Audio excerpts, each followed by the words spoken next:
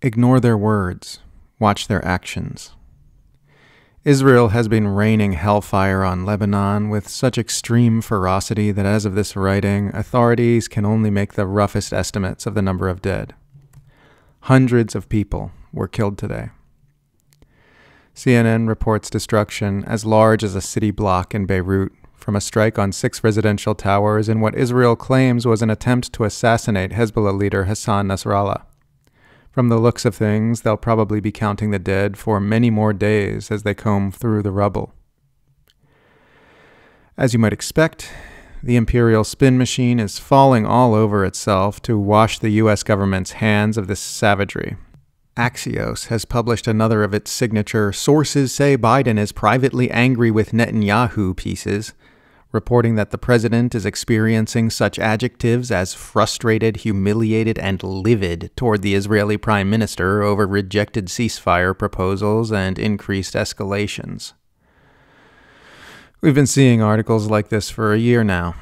It's become a whole new genre of news reporting in the mainstream press to transcribe statements fed to the media by anonymous White House officials saying the president's feelings are feeling upset feelings toward the Israeli government in order to frame the Biden administration as some kind of reluctant, passive witness to all this butchery and genocide, instead of the willing participant that it so obviously is. CNN has an article out titled Blinken issues forceful plea for diplomacy after Israeli strike on Beirut, which is, of course, nonsense.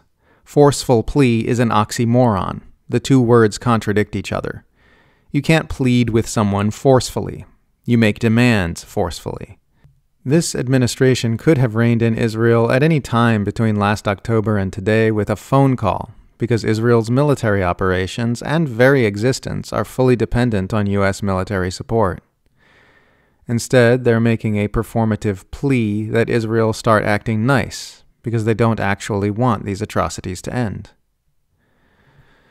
You can see that the Biden administration is a willing participant in all this bloodshed by simply ignoring their words and their narrative spin and watching their actions instead. While the mass media publish White House press releases disguised as news stories about the president's feelings, and celebrity progressives assure us that this administration is working tirelessly for a ceasefire, the Israeli Defense Ministry is announcing that it has secured another $8.7 billion in military aid from the U.S. That's really all you need to know to understand what's really happening here. That this administration is continuing to pour mountains of war machinery into Israel after a year of genocide. Their words say one thing, but their actions say another. Ignore their words and watch their actions. This is great advice for this current situation in particular, and for politicians in general, and even more broadly for anyone in your life whose real motives you're unsure about. The other day, I got into a conversation online with a Kamala supporter who insisted that backing Harris is the best way to support Israel's victims because Harris sometimes says nice words about Palestinian people while Trump does not. Given the current two options, would you prefer a president who urges Netanyahu to cease, who calls for a ceasefire, and calls for Palestinian freedom and rights, over one who does none of those? he asked. I told him, You're asking me if I prefer someone who murders kids while saying nice words, or someone who murders kids while not saying nice words. I don't care. They are exactly the same to me. But that's what Democrats have to offer nice feelings and words, vibes, bombing Middle Eastern kids to shreds while saying they support human rights and a two state solution. It's their whole entire shtick.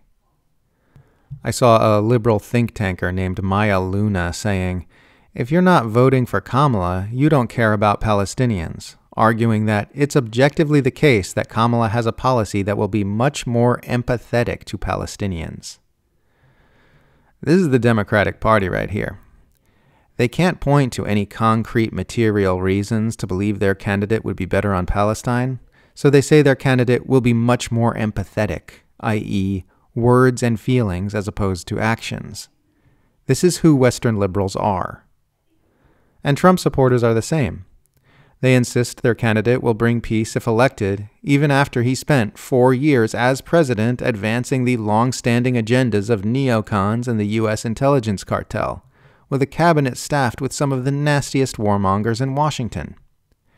If they'd ignored his words, which occasionally give lip service to peace, and watched his actions instead, they'd see that the empire will never let anyone elect a peacemaker as president. Mentally mute the narratives and instead watch the actual material movements of war machinery, troops, resources, and wealth. That's how you sort out what's really happening in this world from the empty narrative fluff, and that's how you recognize who the true monsters really are.